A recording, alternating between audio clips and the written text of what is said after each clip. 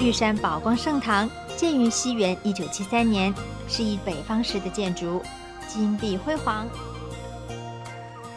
在一九九七年获选为西南营胜景之一，拥有极佳的风景视野。前殿广场中央的金龙宝玉是取自于台湾中央山脉的绿宝石，后殿为挑高十二楼的设计，墙面尽是浮雕。